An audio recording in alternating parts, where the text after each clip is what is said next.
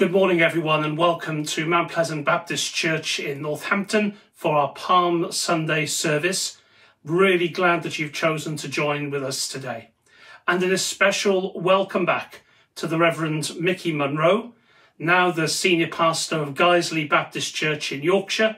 But uh, before that was uh, a dearly beloved member of our church congregation, an elder, uh, a minister in training, and a much beloved pastor with us. And I'm delighted that Micky's going to be preaching to us from God's word later this morning. Let's bow our heads, shall we, as we remember the presence of the Lord with us now as we come together to remember uh, the arrival of Jesus into Jerusalem, that first Palm Sunday, and as we prepare to give him our praise and our worship. Let's bow our heads. We read in Zechariah Rejoice greatly, O daughter Zion. Shout aloud, O daughter Jerusalem. Lo, your king comes to you. Triumphant and victorious is he, humble and riding on a donkey, on a colt, the foal of a donkey. Blessed are you, O Lord God, God of our salvation. To you be praise and glory forever. As a man of sorrows and acquainted with grief, your only Son was lifted up that he might draw the whole world to himself. This day may we walk in the way of the cross and always be ready to share its weight, declaring your love for all the world. We pray together in Jesus' name. Amen.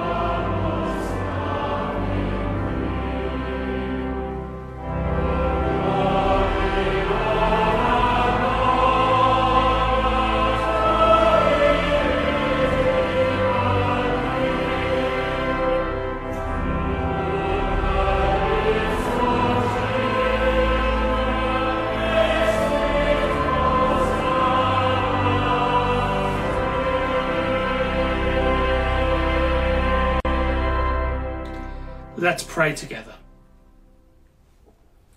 Almighty God, you loved the world so very much that you sent your one and only Son into the world, not to condemn the world, but that the world through him might be saved. Lord, we confess that we are often quicker to judge than to bless. And this morning again, we fall silent at the extravagance of your grace and the wonder of your redeeming love.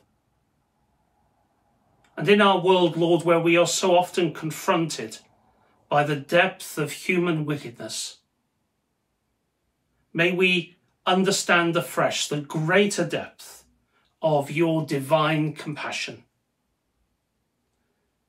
And as this week we reflect again on the outstretched arms of Jesus, embracing the world in his love through Calvary's cross. May we confess our part in the sin of the world, repent of it, know the reality of your forgiveness, and be transformed and share it with others. We pray through Jesus Christ our Lord. Amen. Let's share together in saying the Lord's Prayer. Our Father in heaven, hallowed be your name. Your kingdom come, your will be done on earth as it is in heaven. Give us today our daily bread, and forgive us our sins as we forgive those who sin against us and lead us not into temptation, but deliver us from evil. For the kingdom, the power, and the glory are yours now and forever. Amen.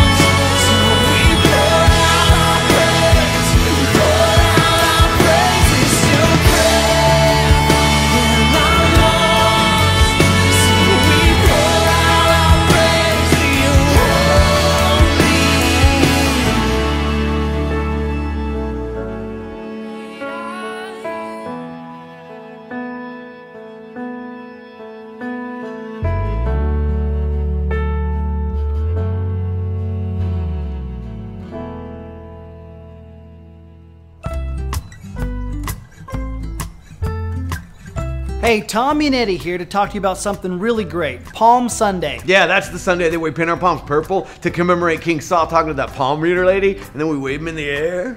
No, no, it's not. Yes, it is. No, it's not. yes, not. it is. No. What Bible do you read? Palm Sunday commemorates the triumphal entry of Jesus into Jerusalem. Now, picture this Jesus rode in on a donkey while the crowds put their cloaks and palm branches all over the ground, shouting, Hosanna to the Son of David. That's what I said. That's what I meant. Okay, now picture this. Jesus' popularity was going viral. I mean, he just raised Lazarus from the dead in the same community just a few days earlier. Wait, post dead Lazarus was maybe at the very first Palm Sunday? Yeah, probably. That's so cool. I bet if he was there, he was probably like, And you're a thriller, thriller, Jesus. You raised me from the dead when you said, Get up, get up, get up, ooh!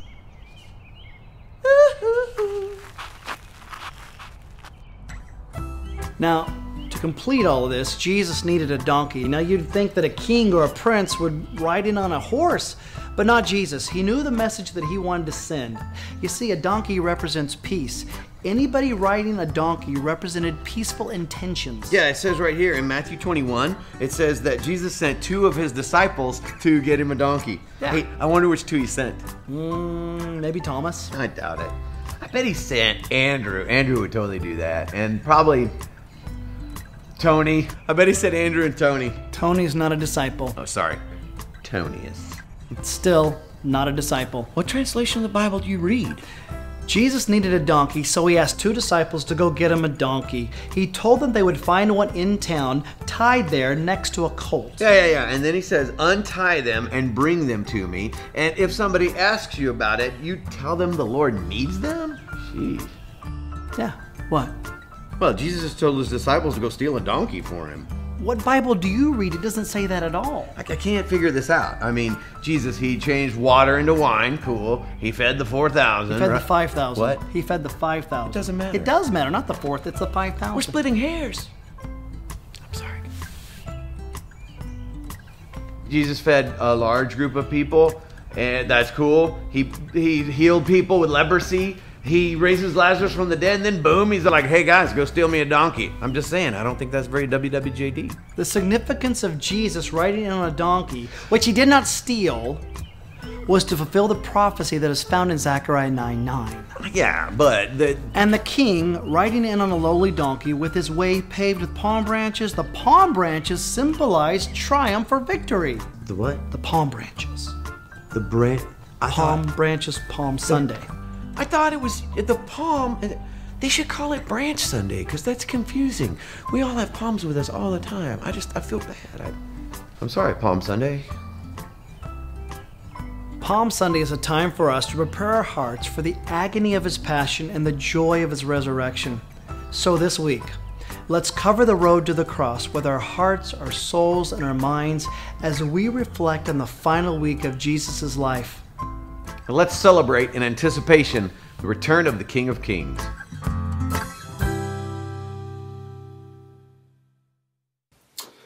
Today's Bible reading comes from Mark 11 1 to 11.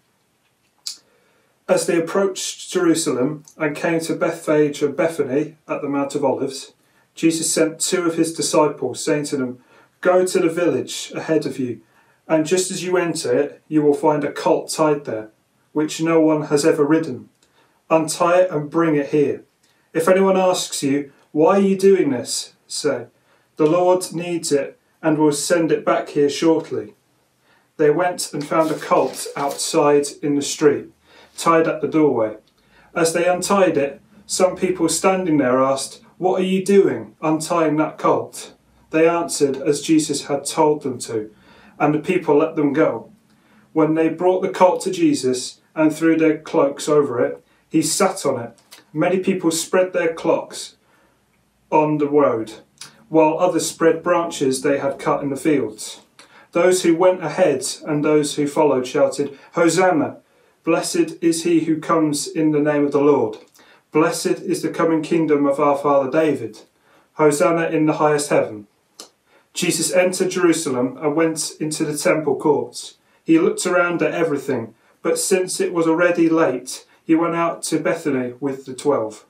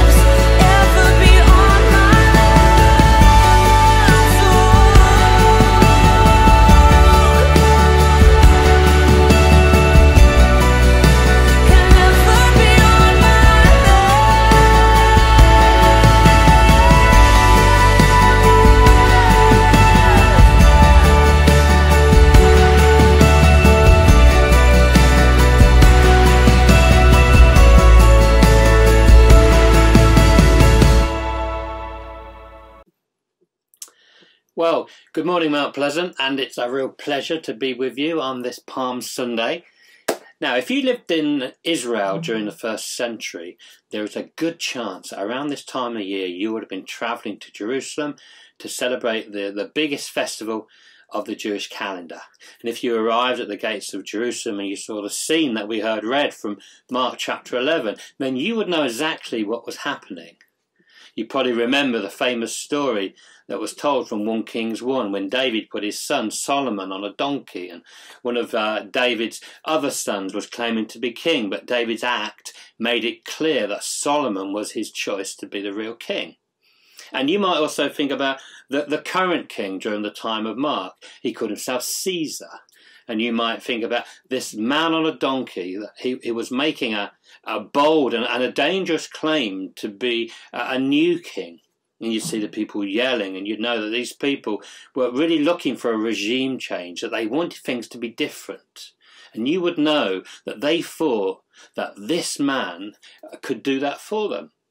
So you'd know a lot was that was going on here, but I, I suspect there'd be a question growing in your mind, and perhaps as you got closer to the scene, it would loom larger and larger. Without knowing the answer to that question, I think you might feel uh, nervous about the events that we're witnessing. You perhaps wouldn't know whether to feel excited or, or pessimistic or, or, or, or hesitant or maybe even terrified.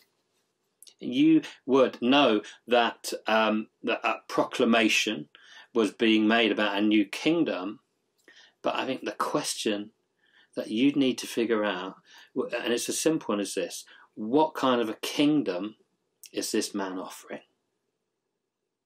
You see, kings aren't just there for themselves. They have kingdoms, they establish them, they rule them, they, they serve them, and sometimes they even fail them. So this morning, as we begin this, this week that leads up to Easter, I want us to think about kingdoms you see the traditional Palm Sunday story from the Gospel of Mark describes Jesus entering into Jerusalem. Uh, and Mark's version of the story has a unique phrase that the other Gospels don't use.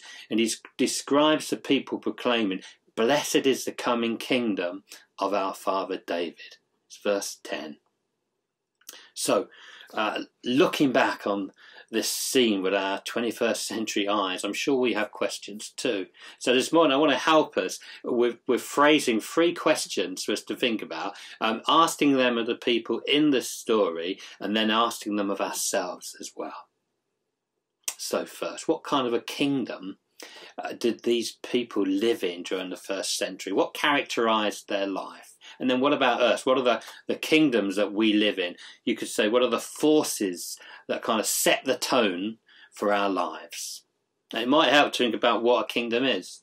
So kingdoms have a leader, someone who governs them. Kingdoms have territory that define them. Kingdoms have, have citizens, the people who inhabit them. Kingdoms have a culture, uh, the kind of life that is lived in this kingdom. In the first century, uh, Caesar was Lord, but there were many other leaders who would have influenced your life. Herod Antipas in Galilee, the, the Roman governor Pontius Pilate in Jerusalem, and then you would have had your Jewish scribes and the elders and the high priest. Uh, and life was hard. Uh, most people were poor. Uh, they lived in a small village uh, uh, as a farmer or a shepherd, and, or they lived in a crowded city as a merchant or a, or a tradesperson. Most people had some sort of uh, group that they identified with. You'd be part of a religious faction or a political alliance or a trade guild or a tribe. So this is the world that they lived in, and it was a you could say it was a it was a confusing mix of religious, political, professional kingdoms. But there was one thing one thing that every faithful Jew agreed with that this wasn't the way it was supposed to be. After all, this was supposed to be a Jewish nation, not a Roman province. So, what about now? Some 2,000 years later, have things changed that much at all? No. Think about the different aspects of your life. What kind of a kingdom do you live in? See, the truth is that our lives are also a complicated mixture of allegiances and affiliations and, and memberships and loyalties. Yeah, I know Northampton very well, and I, and I, suspect many of you were born locally, but some of you will have backgrounds, uh, you know, from Asia or Africa or, or Europe or even Wales. You still consider yourself part of these kingdoms in some sense, particularly when there's a rugby match. But anyway, you work in a and a kind of professional kingdom too. You know, your companies have leaders and territories and citizens and a culture of their own. You're fighting to compete with other kingdoms, trying to take territories and grow your citizens and earn glory for your leaders. You live out your lives in a similar, confusing mix of kingdoms political and corporate and social and religious. But here's the difference. See, I think most of us like our kingdoms. See, for the large part, we've chosen them. In fact, I think we're tempted to think that if we can just manage to find ourselves in the right kingdoms, things will work out well for us. See, our problem isn't that we're dissatisfied with the kingdoms of the world. It's just that we think we've maybe chosen properly, uh, poorly. Sorry, we didn't. You know, we didn't get the right opportunity to choose the right company to uh, to to choose a different community, to, to get a better school. And I think one of the greatest problems in our in our areas that we're, that we're and we're not at all exempt from this is that we have uh, too much faith in the kingdoms of the world. You get that? We have too much faith in the kingdoms of the world. And it seem it seems to be working out well for many people, except we're still unhappy. The people around us still aren't happy. We complain a lot. We want and we crave and we lust and we demand. So maybe the kingdoms around us aren't all that we think they are. And maybe that's why we want something more. So we move on, our second. So what would make things better? What kind of kingdom do we want? So that crowd in first century knew that they wanted something else. They knew they weren't happy. And as Jesus walked into the city, they proclaimed, Hosanna in the highest. Hosanna, it just simply means save now. So you say these people wanted saving, they wanted salvation. In fact, they were, they were, they were longing for a different kind of a kingdom. You could say they were, actually, you could say they wanted the, the, the glory days of David to return. And they had good, good reason to want this too, because for hundreds of years the, prophets had said that this is what would happen. Their lives were kind of saturated with the, the promise of a Messiah. You know, it had, it had been a thousand years since David was king. David made Israel a world power. People feared and admired the nation of Israel. The kingdom of David was characterized by peace and prosperity and prestige. They defeated their enemies. They lived lives of abundance. But, but now, none of these things were true in the first century. They didn't know peace. Armed soldiers occupied the land. They, they didn't enjoy prosperity. See, making enough to live on was hard enough before Rome pillaged your earnings. And they, they, they definitely didn't have prestige. Israel was a laughingstock. Her God was seen as old fashioned and impotent. But in the scriptures, faith is always propelled forward by hope, never by nostalgia, and certainly not by fear. And when the scriptures speak of the throne of David, they speak of a new king who would redeem his throne, not simply return it to the past. They wanted what they remembered of David's kingdom peace, uh, prosperity, and prestige. And in a word, they wanted a kingdom of success. Are we any different? You know, isn't that basically what we all want? Now, what about you? What kind of a kingdom do you want? And I think you know, that we want the same things that they wanted in first century uh, peace and prosperity and prestige. And I think the odd thing is, though, and despite the, the, the, the notable roadblock which we've all experienced in the last 12 months, is that um, that we have more of those things than any culture in any period of history has ever known. I mean, few cultures in history have known the kind of peace which exists in the UK. And okay, you may not feel prosperous at the moment. And I know the reality of life for many in our in our nation is tough, economically, really tough and just uncertain. I get that. But a bit of a bit of context. I have a really good friend who currently works in a part of the world that has been ravaged by contemporary war, which means the infrastructure of that country has disappeared, which means inflation grows just unbelievably higher and higher each day, which practically means what you pay for a tin of beans on a Wednesday can be quadrupled by Friday. And the result of that is poverty. Uh, we we live in a land where what we pay for a tin of beans on Wednesday is generally what we pay on Friday. So what do we really want? What do we really want? We have peace and prosperity, and, and I suspect because of that we have prestige. What more do we want? You know, I think it's a surprisingly difficult question to answer, isn't it? What I, I suspect many of us don't really know what we want. And see, the problem is when you don't know what you want, you can be bombarded by our culture, bombarded by the messages of our culture who will say to you, what you want is what we're selling. And that all boils down to one word more. You know, we think we want more money. We think we want more position. We want to be more attractive. We want to be more fit. We want to be better thought of. We want to have more free time. We want to be more influential. We already live in a kingdom of success. We have a lot, but we want more. You know, in the first century, you could say that people lived in a, in a failed kingdom and they wanted success. And today we live in a successful kingdom but we still want a different kind of kingdom. We want a kingdom of more. So finally, let me. The, the important question is this what kind of a kingdom was Jesus actually announcing? And that's just as important for first century Palestine as it is for 21st century UK. And see, the spoiler alert here is that it's, it's not what they expected, and it's not what anyone expected. Jesus fulfilled over 300 prophecies concerning his birth and ministry. Even so, the kind of kingdom that he was offering took everyone by surprise. The Gospel of Mark, Jesus began his ministry by talking about the kingdom of God. And in fact, the first words he spoke about in the Gospel had to do with kingdom. So, what is the, the kingdom of God? Well, you could say, really quickly, you could say the leader is Jesus. The territory is the whole earth. The citizens are all tribes and all nations. The culture uh, is overflowing. It's abundant. It's eternal life. Now, but there's more than that because you see, those are the specifications. You know, but what's it really like? You know, for example, you could tell me about the engine and the tyres and the upholstery of a car, but what I really want to know is what it feels like to drive it. And that's why Jesus told stories.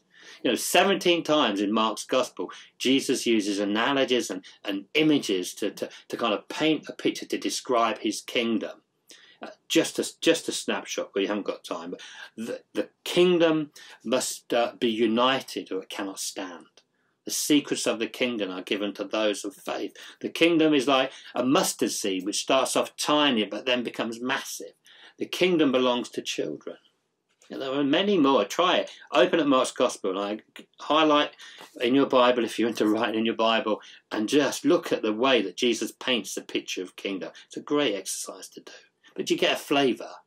Uh, you can get a sense of what it's like. Now we can't always understand it or describe it, but we're drawn to it, don't you think? There is something, something compelling about it. So, what kind of kingdom do you live in? What kingdom do you want to live in? Are you willing to take a step and live in the kingdom that Jesus is establishing? Not to study, but to join. Are you willing to enter? Will you join the kingdom of Jesus? You see, one of the essential aspects of any kingdom is they want to grow. Kingdoms want to expand, to encompass more territory, to count more citizens. Uh, the word that we usually use to describe this is to conquer kingdoms want to conquer other kingdoms. But the kingdom of Jesus, the, the kingdom that Jesus brings, is no different in that regard. Uh, this kingdom will go. In fact, the Bible declares that the kingdom of God will be eventually the last one standing. But there is something that makes the kingdom of God different from any other kingdom of the world. I, I, I think you know. You know, the kingdoms of the world conquer through violence. I think we've experienced that. Through competition, through destruction, through fear. They seek their own glory and they trample any in their way. But not the kingdom of Jesus. Instead of peace, Jesus offered sorry, Jesus suffered violence. And instead of prosperity, well, Jesus is poor. Instead of prestige, Jesus, Jesus is humiliated and publicly scorned. That's the kind of leader who will rule this new kingdom. And this is the, the, the culture for its citizens. Now, will you join this kingdom? We don't just, you know, we don't just join the kingdom of God. We are agents of the kingdom. We are participants in the love and the sacrifice and the and the, the, the humility that characterizes and expands this kingdom. Jesus doesn't conquer, and neither do we. We don't win arguments and dominate the political scene and protect the power of the church. No, we sacrifice ourselves for the vulnerable. We lay down our lives, we humble ourselves. This is what it means to love the world. This is what it means to participate in the kingdom of God. It's a new kind of a kingdom that Jesus is bringing. That that he, you know, that I think it's what we really want. It's hard to describe. It doesn't make sense to everyone, but once you've tasted it, you understand. A leader lays down his life for you, a, a community who embraces you, includes you, and sacrifices for you. A life of freedom and meaning and love. This is the kingdom of God. It's the, king, it's the kingdom that Jesus, as he rides into Jerusalem on the back of a donkey, is announcing. It's the kingdom we can join. It's the kingdom that we can, in fact, invite others into. So, will you join Jesus in his kingdom? Join him as he proclaims to the world. Amen.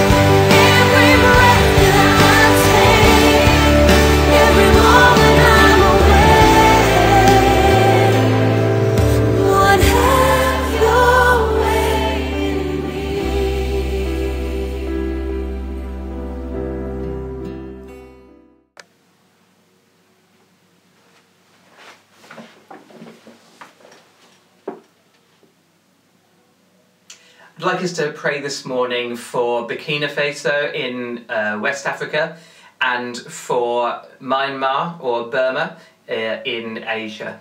Let's pray for the, the two countries. Lord God, we just bring um, Burma before you today. Lord, the situation there is appalling. We see people being killed, we see children being killed in what it seems to be a protest. Lord God, we just pray that the um, army that are uh, ta- have taken over the country would relent and that they would bring about a de- democratic process quickly. Lord, we pray for those who have lost loved ones, particularly those who have lost children in the violence. We just pray that you would comfort them, be with them in that really difficult time. Lord God, we pray that you would help those who are protesting to protest in a way that is uh, helpful and meaningful and brings peace to that country, Lord God. Lord, I just pray that you would bring peacemakers to that part of the world, that they would be able to um, stop what's going on and show your love and show and that your love would come and bring peace and calm to that place. Lord God, just pray this in Jesus' name. Amen. And Lord, we pray for Burkina Faso as well. We pray that you would be with the leaders in that country, give them the wisdom they need to help the country to develop in the right ways. Lord, we pray for those working for uh, um, women's rights, and particularly those that are working to make sure that the outlaw on uh, female genital mu- mutilation are um, able to do what they want to. And Lord, we pray that um, as they've uh, succeeded in getting to into the African nation, a Cup of Nations, that you would um, make that a really positive thing for this nation and build them up through it, Lord. Lord, we thank you for that country. We just pray for um, peace between the different religions there and that you would uh, be in that place and be helping the Christians that live there. Lord God, we thank you and praise you for um, Christians working in difficult circumstances and especially for those in, um, in West Africa today. Lord Jesus, we pray this in, in your name. Amen.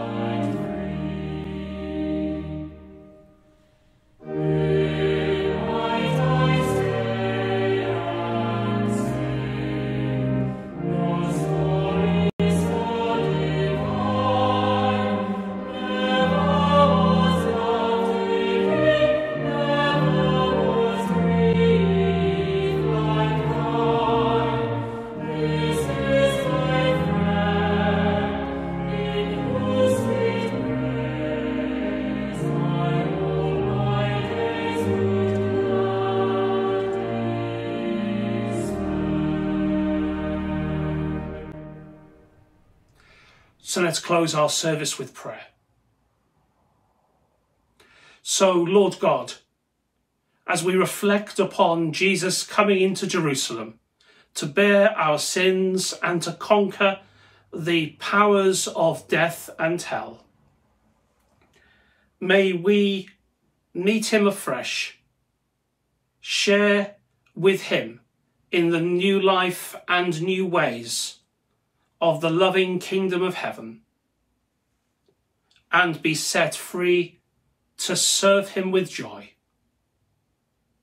And the blessing of God Almighty, the Father, the Son, and the Holy Spirit be upon you and remain with you always. Amen. God bless you today.